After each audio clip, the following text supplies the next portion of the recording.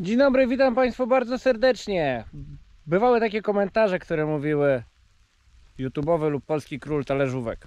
Myślę, że to za dużo powiedziane, natomiast miłośnik talerzówek to już jak najbardziej. Witam w kolejnym filmie. Dzisiaj na tapecie mamy w ten piękny deszczowy, jakże wspaniały deszczowy dzień. Na tapecie mamy Tolmet Astat. Brona talerzowa Tolmet Astat, tak mi się wydaje. Muszę zobaczyć jeszcze tabliczkę. 3 metry. Maszyna dosyć ciężka, bo jak podniosłem New Hollandem, to już amortyzacja osi całkiem fajnie pracowała, a wcześniej była ustawiana pod batyrę. Batura no była wiadomo dłuższa i jeszcze cięższa. Baterą trochę też popracowaliśmy, niestety baterą nie udało się popracować w e, ściernisku, natomiast Tolmeta ogólnie zastanawiałem się nad kupnem nowego, nie? Także będziemy mieli troszeczkę może brudny e, obiektyw, bierzemy kamerę na głowę i co jest jeszcze fajne, że ja te maszyny, które tutaj mam, e, to jakby są testy niezależne. To nie są testy czy mandama, czy batyry. E, mandamy były już trzy u mnie. E, tak, akurat mandamy to wszystko są moje maszyny. Prawdopodobnie jeszcze będziemy mieli możliwość przetestowania jakichś bezorkowców, ale na pewno już prawdopodobnie nigdy nie mów nigdy, nie w tym roku ze względów czasowych. Przyjrzyjmy się temu tolmetowi. Przyjrzyjmy się temu tolmetowi, weźmiemy zaraz miarkę lub y, pomierzymy to. Niestety mamy dzisiaj deszcz, ale takie jest rolnictwo, że nie zawsze są fajne warunki. Zatem ludzie mają e, brudno w ciągnikach, ale no, trzeba nagrywać filmy. Jak już się zaczęło, człowiek się podjął, no to trzeba trochę się też tym zająć, a poza tym mnie też to jakby interesuje. Nie mam pojęcia ile ta talerzówka nowa teraz kosztuje, musicie popatrzeć sobie na to w necie. Tolmet, czy jest tutaj napisane coś, 2018, waga Prawdopodobnie, chyba że to numer fabryczny 1725, no może tony 700 to ona nie waży, a może i waży. Może i waży. Tolmet. Jaki to jest model? Nie ma żadnych kurde tej. Jest tu Tolmet. Tak mi się wydaje, że to jest Astat. Astat, chyba ona Astat się nazywała. Ale jeszcze sprawdzę to w internecie. E, Co mnie jakby trochę i dziwiło i Astat. Tolmet Astat 300, ok. E, Co mnie trochę i dziwiło i mi się trochę nie podobało w tym Tolmecie, tu widzimy tulejka obspawana. E, ta regulacja tych śrub, to mi się nie podobało. Nie rozumiem po co to jest w ogóle. E, że co, że niby ma lepiej wesprzeć, czy o co chodzi, czy w razie jakby stworzeń wypadł. Za chwilę się tym jakby zajmiemy. Maszyna na wale Packera. Na zespołach łożyskowych widzę, że jest. Gdzieś tam coś się lekko widzę przygięło. Tutaj. Aha, to opadło. Ok. E, tak, co chciałem porównać? Chciałem porównać następujące rzeczy. Albo to już zrobimy przy mandamie 3-metrowym. 93 cm, albo jeżeli tak by patrzył, to 85 e, sekcja od sekcji, albo nie wiem, czy to z przodu liczyć, czy jak to liczyć, ale zobaczcie, co jest fajne. Piasty są bezobsługowe i odległość tutaj u góry wynosi o 7,5 cm. 7,5 cm, pojedziemy za chwilę do chaty i zobaczymy, jak to w porównaniu do mandama wychodzi. Kolejny plus to jest regulacja skrajnego talerza z tej strony, to mi się akurat bardzo podoba, że ten talerz można wyregulować, żeby nie przesypywała kopca. W porównaniu do mandama 3-metrowego na plus, e, tutaj też, tak, regulacja. E, Nie podobają mi się e, brak amortyzacji tego deflektora. Tutaj widać, że on był już gdzieś trochę przyspawany. Natomiast podoba mi się to, że przednia, przedni rząd jest w tamtą stronę rzucony, czyli można sobie robić zagon od strony prawej, co nie? Że po prostu ona nie przerzuci, bo zawsze przedni rząd talerzy zawsze rzuca więcej. Nie będziemy jakoś tutaj nie wiadomo ile tych przejazdów robić, tylko po prostu zobaczymy jak ona sobie poradzi, jak ten kąt, e, który przez Tolmeta jest, że tak powiem, uznany za, za stosowny, radzi sobie w rzepaku, jak to wyjdzie w stosunku do... Patrzcie, co tutaj się dzieje. 11 cm, a te już mają 7,5 7,5 ten talerz jeszcze jest inaczej coś. Jest bliżej jakoś tak w ogóle. Albo jest bardziej podjechane, no nie wiem o co chodzi, ale e, właśnie w Mandamie mi się nie podobało to, że, że ta przedni e, tu mam prawie 8 cm no, po prostu e, wiesz, talerz jest bardziej tutaj e, świeższy. Także jest strasznie duża przestrzeń, jak widzicie. Tutaj, żeby kamień się zablokował, czy żeby ona się zaczęła blokować tutaj. Aha. Tutaj jest trochę coś ze- zepsujte. E, natomiast no nie wiemy ile ta talerzówka jakby przerobiła. E, jakiś tu jest luz, tutaj jest, aha, ona jest tylko niedokręcona ta śruba. Trochę tam luzy są na tych talerzach, ale nie wiem ile dokładnie ona e, jakby przepracowała. I teraz tak. Uważam, że fajna, niegłupia talerzówka. Jeszcze taka ciekawostka to jest to, że tutaj mamy fasolki od dołu. Więc to będzie widać. Siadłem właśnie z dubskiem na e, kij od rzepaku. E, tutaj są fasolki. Tutaj widzę, że jakieś M12, jakieś zatyczki, śruby. Jakie tutaj są? 8,8, nie żadne dziesiątki. Elastomery są trójkątne. E, I tu mamy regulację przesunięcia rzędów talerzy, nie? Także te talerze możemy, e, jakby te rzędy możemy poprzesuwać w tym miejscu, nie? Ja tego nie będę regulował, no bo jakby no, no to nie jest celem, tylko chcę zobaczyć jak ona sobie w ogóle poradzi, jak ona będzie pracować. Także tu mamy 7,5 cm, potem jeszcze wrócimy do mandama. Blisko 8 cm i rozstaw tam już w środku zróbmy, to jest 85 cm, sekcja przy sekcji. I naprawdę patrząc na to, jak ona jest zbudowana, to ona się w ogóle nie powinna e, zapychać. A mandam jednak e, gal C e, zapy, zapychał się. Przy, tutaj się zawsze zbierało pełno zielicha. Jak się zazielenienie talerzowało, było drażniące. I talerze e, Italii ofasy. Na ofasach jest. Ogólnie spoko talerzówka i z tego co wiem, tutaj trzeba potem przekręcać. To, to akurat jest na minus. Wystarczyłyby dziury moim zdaniem. Powinno to utrzymywać. No, widać, że ta talerzówka trochę przeszła. E, No i na minus moim zdaniem to, że nie ma amortyzacji żadnej. Widzicie, to też potem pęka tych deflektorów, nie? Przelećmy tą talerzówką e, po prostu kilka takich przejazdów zróbmy z otwartą szybą. Zobaczmy jak ona sobie poradzi, bo dzisiaj będę jeszcze tutaj na tym polu z mandamem. E, porównamy sobie przy prędkości 12 na godzinę, potem do, dogram film przy prędkości 3, 3, 6, dobra, tam mandamem przelecimy. Po prostu dwa przeloty takie sobie zróbmy. Już nie będę tam nawigacji ustawiał do niej.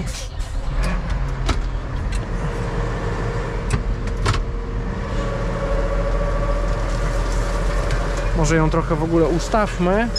A, przedni napęd jest włączony, weź ty się tutaj ucisz.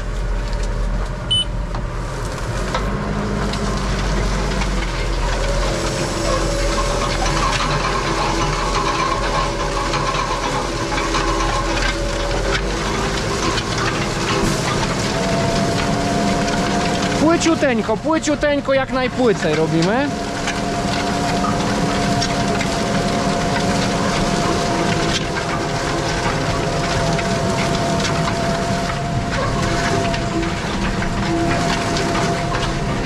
Mamy 8 na godzinę, ale ona kładzie, ja pierdzielę, pięknie ta maszyna robi. Zobaczcie jak ona fajnie miesza. Teraz tak, ustawimy jej e, na GSM-ie, na GSM-ie ty. na GSM-ie zrobimy tak, 12 na godzinę i przelecimy tak, 12 na godzinę i 16 na godzinę i pojedziemy na pole. Ty, ja już nie będę jechał, ja to porównam tutaj. Tak, 12 na godzinę. Cyk, radź sobie, ciągniku, jedź 12 na godzinę.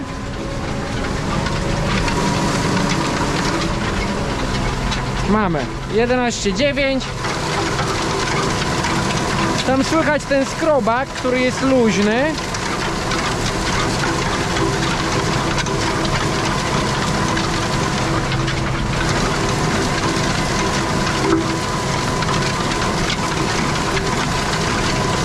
Niesamowita maszyna.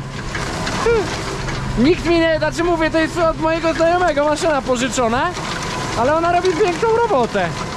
Dobra, Do 12 na godzinę, zwalniamy.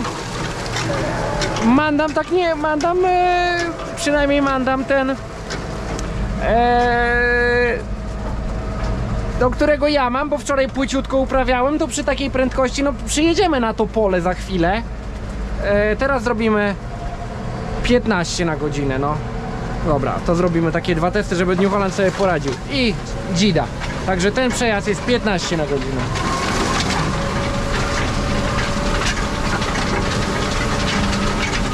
15 na godzinę. Ja pierdzielę. Zobacz, co ona robi.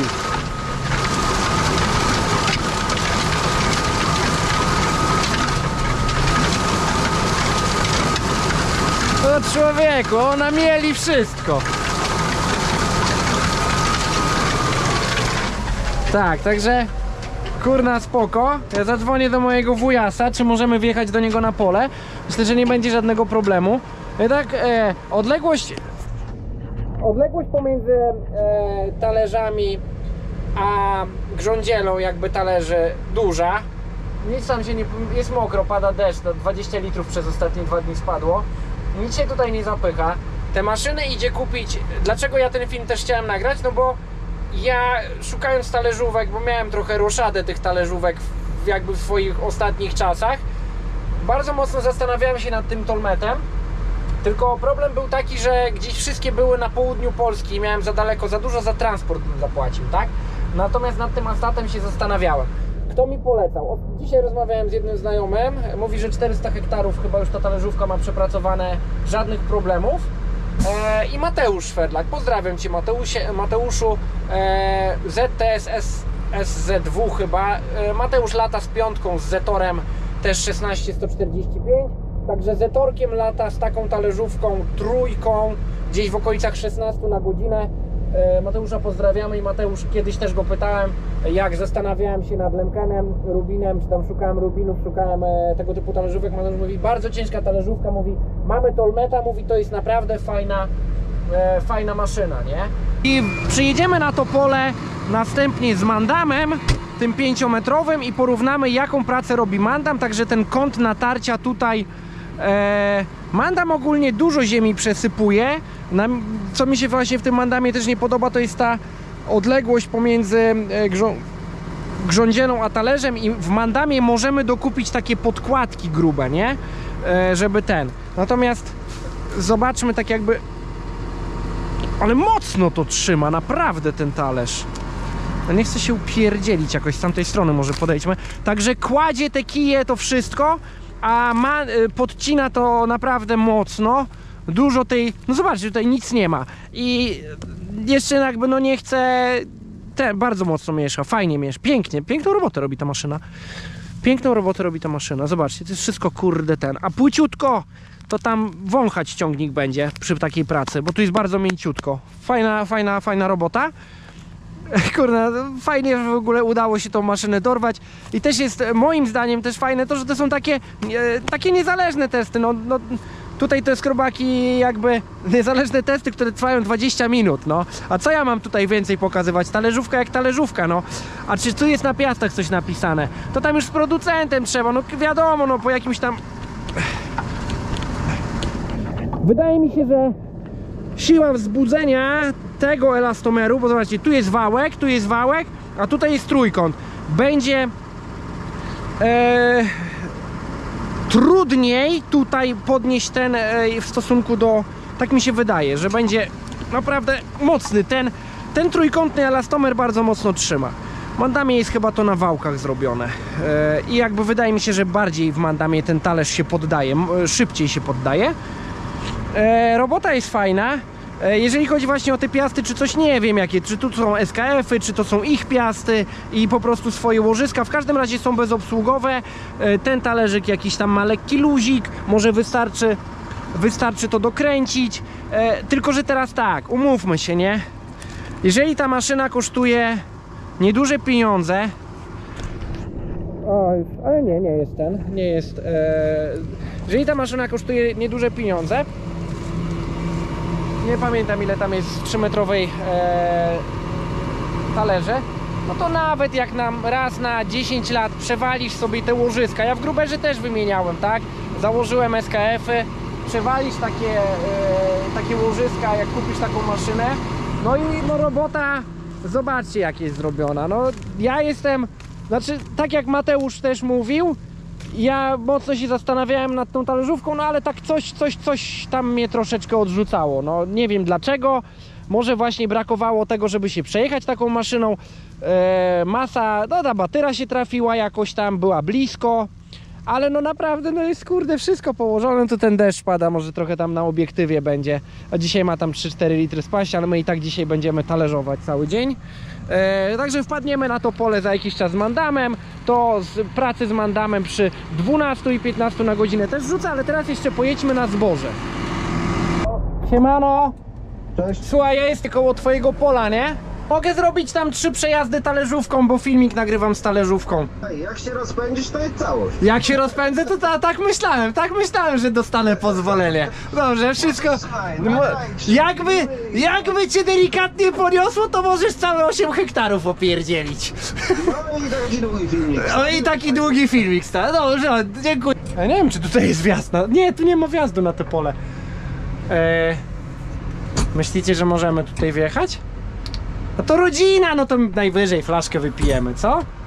Mam nadzieję, że się nie zakopie, co? Tutaj. Zobaczmy, jak ona sobie w tym poradzi. No już mandamem tutaj nie będę. Mandam by się zapchał w tym.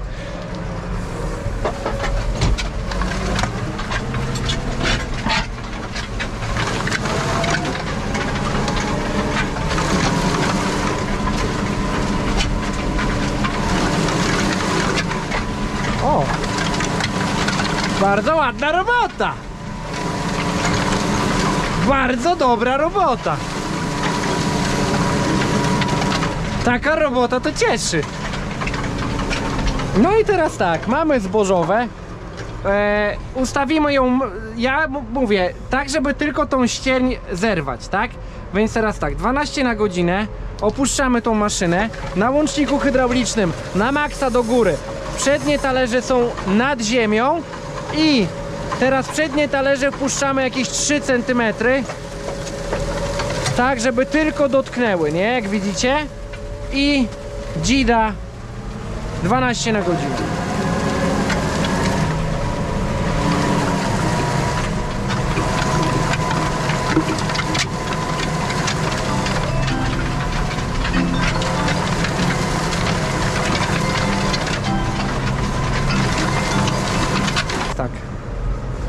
Zrobimy.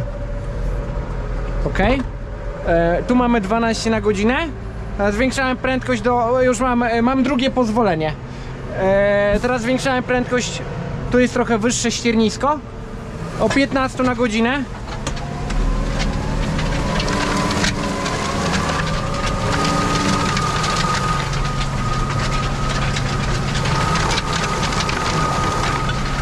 Ty, bo ja za chwilę tą piątkę sprzedam i tą meta kupię.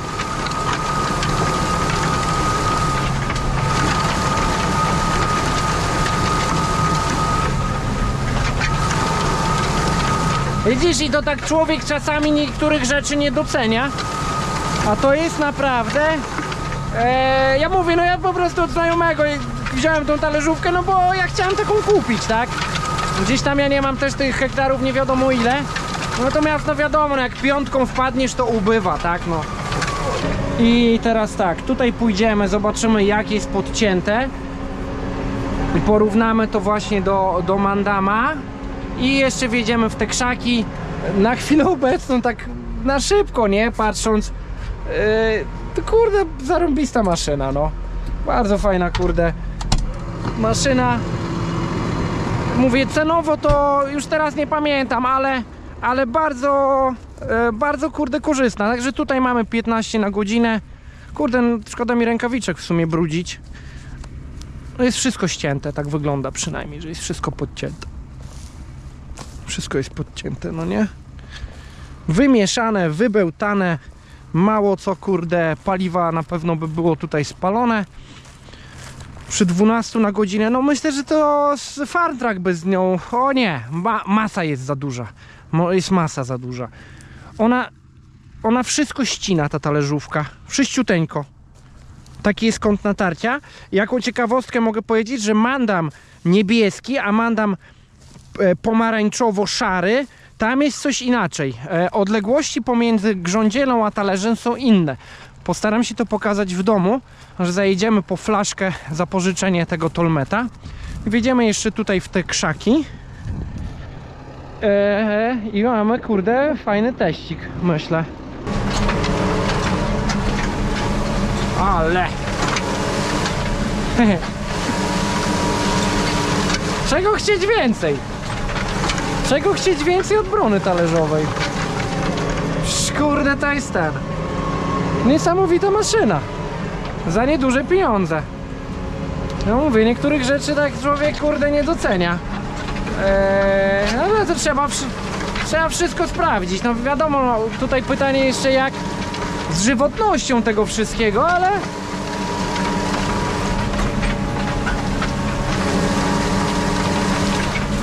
Ale zobacz co to robi za robotę. No czy ta w sumie talerzówka Specyfika talerzówki jest taka, tam mandam też by przez to oczywiście poszedł. Czy, czy, czy podejrzewam batyra ciekawe, może by jeszcze lepiej to wpracowała. Ale no ten tolmecik jest kurde.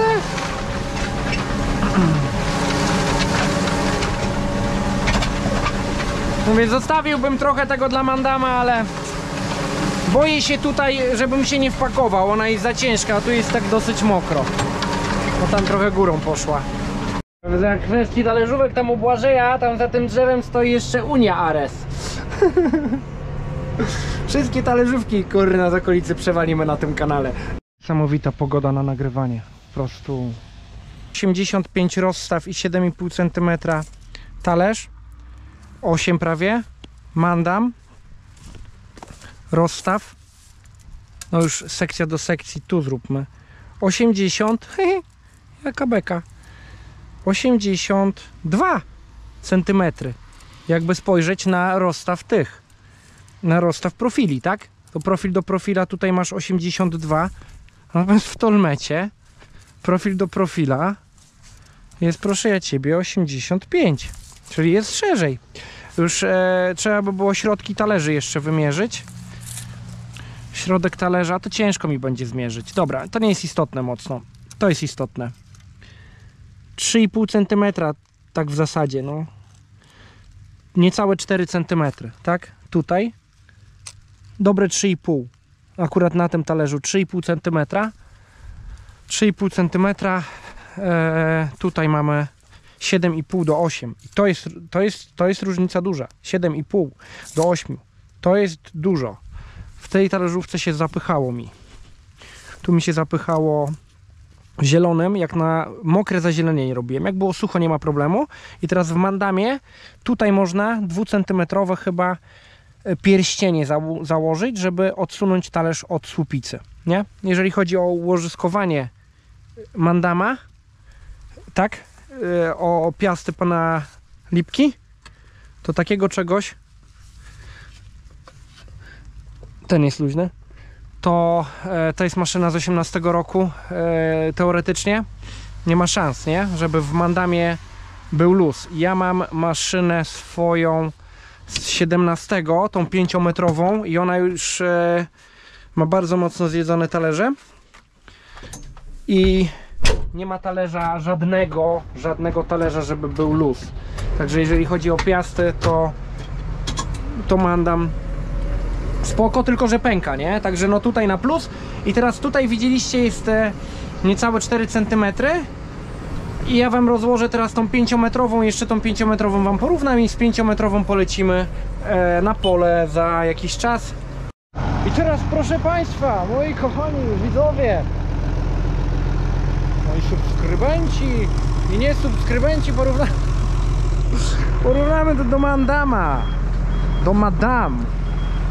Madame Galka. I teraz zobaczymy tu. E, e, wydawało mi się, że była różnica. Nie, jest 4-2. Widzisz, jest inaczej trochę.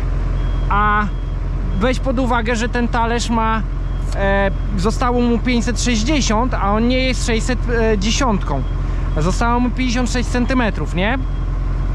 E, więc jeżeli on by był 610, to cylinder by był większy. A tutaj mamy 4 4 3 tu mamy 4 też tam 3, a tam było jakieś na 610, bo tam jest, jeżeli się nie mylę, 610 w okolicach 3 cm. Co jak co, ale ten e, centymetr, nie wiem z czego to wynika. E, tutaj w tych mandamach jest e, inne logo, w tych starszych, nie? Inne logo talerza. I różnica pomiędzy sekcjami tutaj wynosi w galuka 92 cm. Czyli jest dalej, jeżeli chodzi o profile. E, natomiast e, te wzbudzenie talerza tamtego wydaje mi się, że w Tolmecie jest twardsze, jest mocniejsze. Także będziemy, ja ją odepnę, przepnę za chwilę do z e, New Hollanda. Jeszcze dorzucę na koniec filmu, jak będzie wyglądało pole po mandamie w stosunku do Tolmeta. To będzie ciekawe porównanie moim zdaniem. Jeżeli chodzi o ułoż ułożyskowanie piast pana Lipki, nie nie, profesor, doktor, już nie pamiętam. No nie wiem, pana Lipki, wynalazca, konstruktor. E, no to tutaj jest tak uszczelnione i to jest tak duże łożysko. Uszczelnienie jest kasetowe, podwójne, bo plus warga tutaj jeszcze jest. Jakby ktoś się zaznajomił, to jest właśnie ten powód, dla którego ja bardzo lubię mandam. Natomiast pęka. Cały mandam pęka, tutaj mu daliśmy profil, tutaj mu daliśmy sztabę metalu 4,5 cm, 4 cm obspawane, ojciec oczy naświetlił, także tu pospawałem mandama e, tutaj dałem zastrzały tym miejscu, bo tutaj się potrafi wyrwać. Tutaj dałem klocek 25 mm całą ramę wspawałem. Tutaj jest dany resor kolejowy od pociągu, po prostu resor odprostowany. Jak to pęknie, to już tylko sprzedaż nam zostanie albo wymiana, nie no ja ją pospawam, takie rzeczy spawałem. I tutaj jest również wzmocniona, ale już zwykłym płaskownikiem. Nie żadnym 355, tylko zwykły, czyli 235 pewno, tak? Natomiast tutaj z tej strony była pęknięta, jest resor kolejowy i cała talerzówka jest dodatkowo tutaj dospawane są zastrzały, wszystko amperaż 270-300 amperów i na razie jest ok. A tutaj właśnie jeszcze daliśmy z jednej i z drugiej strony, gdzie się wyrywała na uszach 45 mm stal. Ja to jeszcze, o nie, przepraszam, 40, około 44 cm. Tutaj jest właśnie sztaba trójkąt aż tam do tyłu, bo tutaj na tych mocowaniach na uszach się wyrywało. I jeszcze tutaj e, huta e, dwa razy 80 jeżeli się nie mylę. Tak, zespawany ze sobą e, dwa cełowniki bierzemy mandama i z mandamem się widzimy na polu na zakończeniu filmu. Zobaczcie. Damy Adamowi za pożyczenie. Adam lubi maszyny rolnicze tu masz taki pokrowiec. Jeszcze muszę takie sygnowane zrobić, o. Zobacz jaki jest zestaw. Na trzech czy na czterech jest?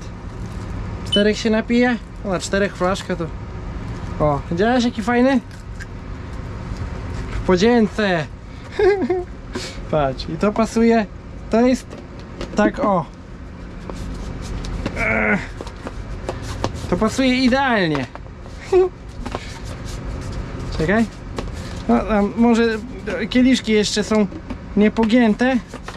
O! Taki jest zestawik i takie co montujesz. No, także na zakończeniu jesteśmy. Mamy mandamkę z tyłu. Nie wiem czy to pole dokończę, ale jeżeli nawet go nie dokończę, to przynajmniej sobie do GPS-u poobjeżdżam e, w koło po prostu. Obrysy pól sobie zrobię, nie? Także mamy mandama, zaraz go też płyciutko ustawimy i zobaczymy jak wypadnie w stosunku do Tolmeta. Czyli opuszczamy maszynę. I teraz tak. Dyszer hydrauliczny, talerzyki w zasadzie na minimum żeby tylko tam trochę przegryzły. I teraz tak, Tolmeta przesuniemy się tu trochę. Z tego co pamiętam to tam mieliśmy 12 na godzinę, a tam 14 więc zróbmy to analogicznie. 12 a, ok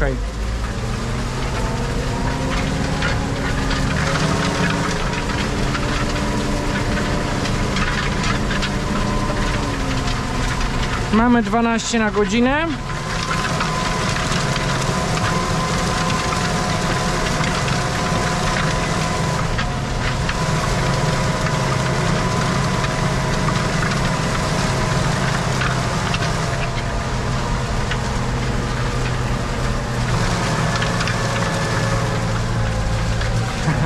Jęczy.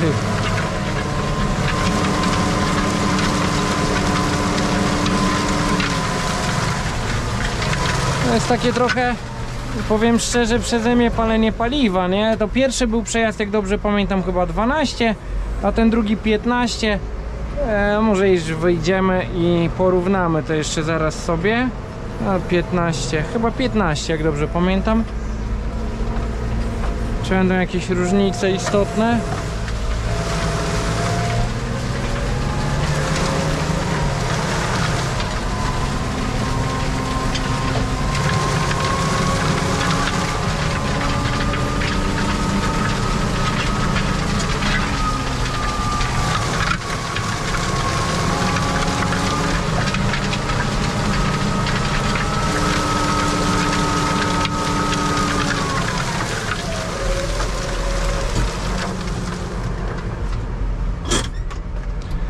Dobrze, i zobaczmy jak to ma zrobił. Fakt, że mamy tutaj e, mięciutko i prawdę mówiąc nie chce mi się wychodzić tam dalej, bo buty sobie znowu błota naniosę.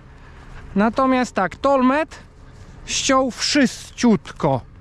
Po mandamie mi zostawały już kiedyś po tych niebieskich kije i tutaj jak widzicie a, no okej, ten jest wycięty mimo wszystko. E, mandam tutaj też jest ten temat, że no też jest spoko przemieszane. Nie można powiedzieć, że nie. Natomiast jeżeli rżysko by było, to właśnie będzie uprawa bezorkowa i zobaczcie już ile mamy dżownic. E, jak robiłem po rżychu, gdzie jeszcze było zielone, to zawsze zostawały kije. Piękne dżownice tutaj będą i tu będzie właśnie bezorka. Także mamy trochę za mokro. Niedobrze, że dzisiaj ten, ale, ale jadę na wakacje i chcę to leciutko uprawić. Bardzo ten. I teraz tak. Jeżeli chodzi o tego mandama, on tak po całości nie podcina. O, widzicie, tutaj on odrzucił ziemię i tutaj taki rowek zostawił. Nawet bym się pokusił o stwierdzenie, że po tolmecie jest trochę nawet bardziej równo. No to mamy 14 na godzinę i tolmetem chyba tutaj też 14 na godzinę. Czy tak równiej? No może i równiej trochę. Tolmet mi się wydaje, że agresywniej bardziej te talerze są ustawione. I co ciekawe, w tym mandamie pomarańczowym, chyba że to jest to, że to się widzi z kabiny, jest bliżej, nie? Ale takie mam też wrażenie, widzisz, tutaj już prędkości nie było, to te kije są tylko, tylko położone, nie? Jak nie było prędkości. Dlatego no talerzówka tą prędkość jednak musi, musi mieć.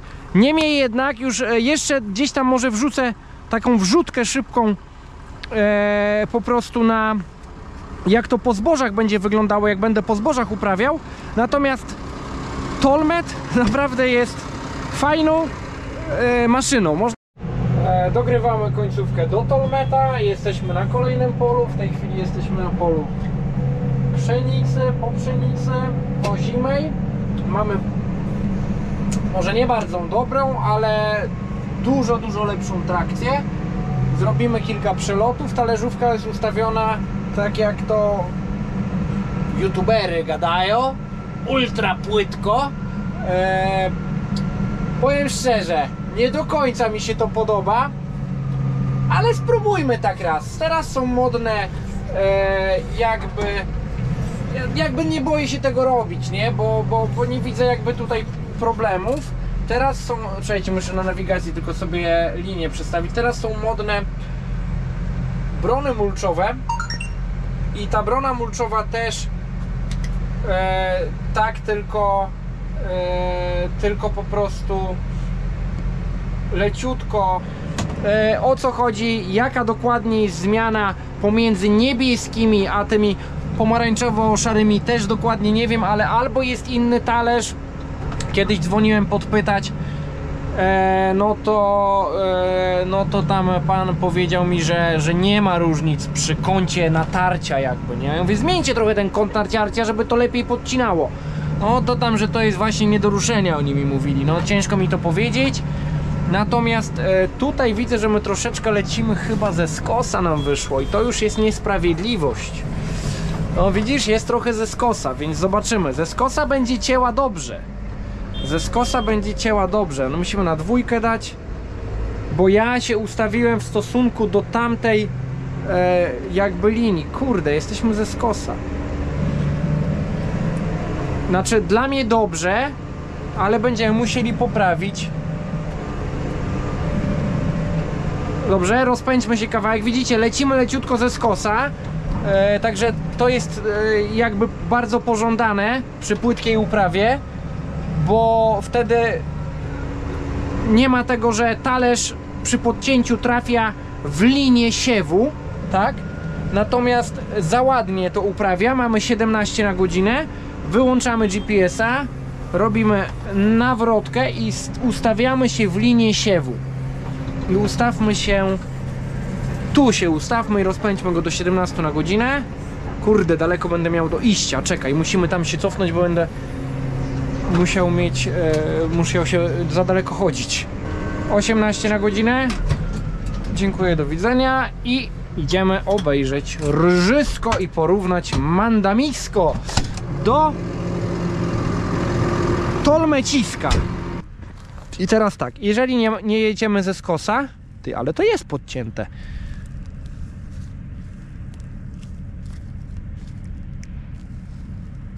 Tak nie do końca, może jest podcięte, le- Wiesz, bo jest miękko, się wyrywa, nie? Ale to jest takie. O, widzicie. To jest e, fakt, że to może skraj tutaj, ale te dwa talerze ostatnie, one też jest to, że one nie są równe. I to jest takie.